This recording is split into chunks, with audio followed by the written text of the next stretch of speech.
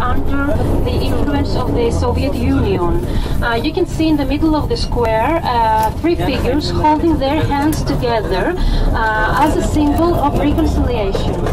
Uh, it was called also the Square of the Mourning. Uh, why is that? Because in the 19th all the civil servants uh, that uh, got fired after the elections, because if the opposing party won the elections, uh, the supporters of the other party were um, uh, were left redundant. So uh, all of them they were gathered on this square to uh, complain about the loss of their jobs.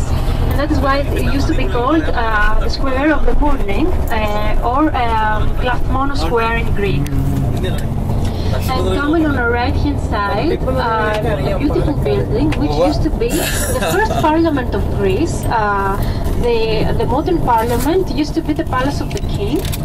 Uh, and back then, this, uh, this building that we have on the right hand side was the parliament instead. And nowadays, uh, it is used as the history museum of Athens. And in front of it, we have the uh, statue of a horseman.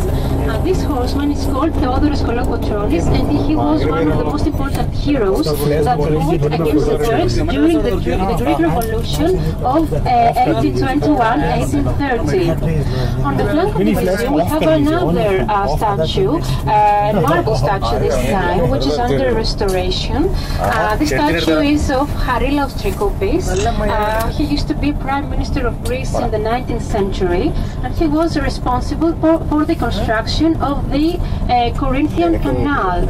Uh, what is the Corinthian Canal? Uh, it is a canal that divides